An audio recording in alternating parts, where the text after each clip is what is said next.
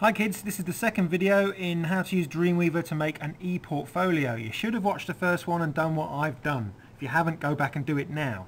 Alright, I've got my site folder all set up, okay? That is this folder right here. There's nothing in it at the moment as you can see. However, the first job, first thing I've got to do is make the home page for my e-portfolio. All you do is right click on there, go up to New File and click it and straight away I have a page and it wants to be called untitled but it's highlighted. That suggests to me we should change it. The correct name for a home page is index.html. Okay, index. That's what you have to call your home page. Press that and if I open it,